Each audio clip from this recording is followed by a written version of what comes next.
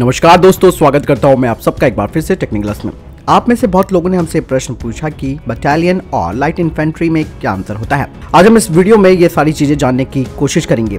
तो चलिए शुरू करते हैं। दरअसल, जब भारत को आज़ादी मिली थी, उसके बाद भारत में किसी जाति, संप्रदाय, समुदाय, धर्म अथवा क्षेत्र के आधार पर कोई नई रेजिमेंट बनाने की बजाय ऐसा सैन्य बल खड़ा करने की नीति रही है, जिसमें भारतीय इन्फेंट्री के तौर पर पूरे देश का प्रतिनिधित्व हो।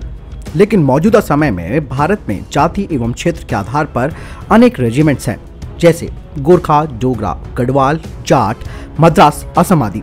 भारत में आज भी लाइट इन्फेंट्री मौजूद है। आपको बता दें कि ऐतिहासिक रूप से लाइट इन्फेंट्री रेजिमेंटों ने सामान्य पैदल सेना की तुलना में हल्के हथियारों और उपकरणों को ढोया और इन्हें व्यक्तिगत रूप से लड़ने के लिए प्रशिक्षित किया गया, जो कि सामान्य पैदल सेना को एक तरह से कवर देती है। हालाँकि ब्रिटिश सेना में लाइट इन्फेंट्री की सामान्य पैदल सेना की तुलना में ज़्यादा मार्च करने की क्षमता थी, जिसके कारण उनका इस्तेमाल बार बार किया जाता था। ऐसी स्थिति में वे सामान्य पैदल सेना की तरह ही लड़ते थे। 19वीं शताब्दी के दौरान जैसे ही हथियार और उपकरण विकसित हुए, सामान्य और लाइट इन्फेंट्री के बीच अंतर कम हो गया। 1914 की अधिकांश सेनाओं में दोनों के बीच कोई व्यवहारिक अंतर नहीं था। लाइट इन्फेंट्री का जो टाइटल था, उसे बरकरार रखा गया। आजकल लाइट इन्फेंट्री, वे यूनिटें हैं जिनका मैन पर्सनल कैरियर्स लॉरीज या मैकेनाइज इन्फेंट्री फाइटिंग व्हीकल में यात्रा करने के बजाय ये लोग मार्च करते हैं। लेकिन अब आधुनिक लाइट इन्फेंट्री सामान्य पैदल सेना की तुलना में अधिक भारी सामान ले जाते हैं। उनके पास राशन, हथियार, गोला बारूद, कपड़े, बिस्तर, उन सब चीज़ों को उसे अपने साथ ले जाना पड़ता है। हल्की पैदल सेना के पास कठिन लक्ष्यों के खिलाफ सैनिकों को बैकअप करने के लिए कोई हथियार नहीं है।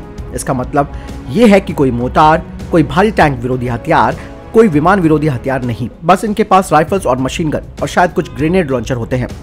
वास्तव में लाइट इन्फेंट्री को सेना के रेजिमेंट, बटालियन जैसी उन्नत सेवाओं में तैनात नहीं किया जाता। और यदि वे कभी बाहर होते हैं तो मामूली कार्य, जैसे कि कब्जे वाले क्षेत्रों पर पहरेदारी, यानी कि पेट्रोलिंग रखवाली आदि करना होता है। लेकिन आजकल लाइट इन्फेंट्री को भी कई समान भूमिकाओं के लिए प्रशिक्षित किया जाता है। जहाँ तक भारतीय सेना का सवाल है, अब लाइट इन्फेंट्री और बटालियन या फिर रेजिमेंट्स में ज़्यादा अंतर नहीं है। सभी मैकेनाइज इन्फेंट्री पैदल सेना है, लेकिन सभी पैदल सेना मैकेनाइज इन्फेंट्री नहीं है। इन्फेंट्री में तीन श्रेणियाँ आती हैं, जिसमें मैकेनाइज माउंटेड और light mechanize infantry unit Bradley और स्ट्राइकर्स का इस्तेमाल करती है, जबकि माउंटेड को अब सर्विस से बाहर कर दिया गया है, जिसमें आमतौर पर घुड़सवार पैदल सेना, ऊँट पैदल सेना या फिर साइकिल और मोटरसाइकिल वाली सेना शामिल थी।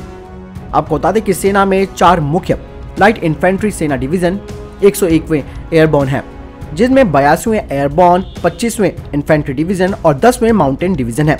जबकि मैकेनाइज इन्फेंट्री में डिवीजनों में infantry one, infantry two, infantry three, four, first cavalry और वन आर्म डिवीज़न है। बख्तरबंद वाहनों और टैंकों के साथ मैकेनाइज्ड आर्मी काम करती है, जो कि लाइट इन्फेंट्री के प्लाटून में पाए जाने वाले भारी हथियार दस्तों की जगह लेते हैं। व्यक्तिगत ब्रिगेड में एक बख्तरबंद रेजिमेंट भी होती है और साथ ही एक मैकेनाइज तोपखाने की यूनिट्स भी होती हैं। लाइट इन्फेंट्री के पास किसी भी तरीके का कोई आर्मर यूनिट्स नहीं होती है। बयासवीं और 101वीं और 25 आईडी सभी उनकी तैनाती के प्राथमिक साधनों तक सीमित है। आपको बता दें कि एक हमले के दौरान टैंक दुश्मन को नष्ट कर देते हैं। आर्टिलरी गन से निशाना साधा जा सकता है। वायुसेना विनाश कर सकती है। लेकिन जिन ठिकानों को खत्म कर दिया जाता है, उस जगह को सिक्योर करने के लिए लाइट इन्फेंट्री की ज़रूरत पड़ती है। इसीलिए लाइट इन्फेंट्री का काम महत्वपूर्ण हो जाता है।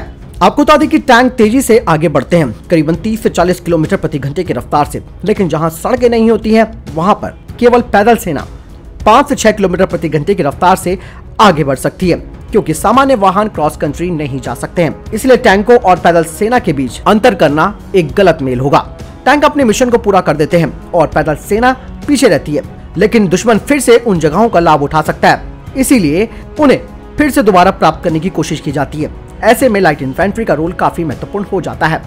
पैदल सेना को मैचिंग गतिशीलता प्रदान करने की आवश्यकता है। हालाँकि अभी पैदल सेना को मैचिंग मोबिलिटी यानी कि मैचिंग गतिशीलता प्रदान करने की आवश्यकता है। इसीलिए उन्हें बख्तरबंद वाहनों में रखा जाता है, जिससे कि अच्छी क्रॉस कंट्री मोबिलिटी हो।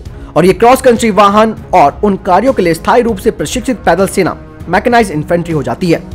लाइट इन्फेंट्री सेना आमतौर पर किसी भी ऑपरेशन में पैदल रूप से युद्ध लड़ती है, जबकि मैकेनाइज इन्फेंट्री मोटराइज ट्रांसपोर्टेशन के रूप से लैस है। आमतौर पर बख्तरबंद जैसे कि आर्मी पर्सनल कैरियर्स आई आदि। लेकिन कभी कभी नियमित पैदल सेना को वाहनों के द्वारा सहायता दी जाती है। यदि उनके पास उद्देश्य के लिए खुला रास्ता है और परिवहन सुविधा उपलब्ध है। इसका सबसे बड़ा उदाहरण है 2003 में मरीन इन्वेंशन ऑफ़ इराक, जिसमें कि समुद्री पैदल सेना की यूनिटों को मैकेनाइज नहीं किया जाता है। लेकिन ये इस गति से आगे बढ़ रही थी कि अधिकांश यूनिटें अपने उद्देश्य पर आगे बढ़ने के लिए ए और अन्य मैकेनाइज्ड मेथड्स का इस्तेमाल करती थी। दोस्तों, आपने जाना कि इन्फेंट्री और मैकेनाइज इन्फेंट्री में क्या अंतर है। वर्तमान में भारतीय सेना लाइट इन्फेंट्री का इस्तेमाल करती है, लेकिन अब वो पहले जैसे नहीं है, बल्कि अत्याधुनिक हथियार और तेज गतिशीलता के लिए उन्हें बख्तरबंद वाहनों से भी लैस किया गया है। दोस्तों, आपका क्या कहना है इस वीडियो के संबंध में? आप मुझे कमेंट सेक्शन में लिखकर ज़रूर बताएँ। फ़िलहाल इस वीडियो के लिए इतना ही। मिलता हूँ वीडियो के साथ। तब तक के लिए जय हिंद, जय भारत।